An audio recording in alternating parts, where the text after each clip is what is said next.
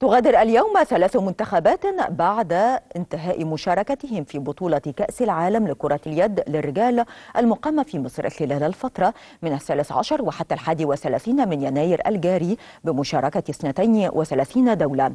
أول هذه المنتخبات هو المنتخب الأرجواني متجها إلى روما يليه المنتخب البحريني متجها إلى البحرين وأخيرا المنتخب الألماني متجها إلى كولونيا.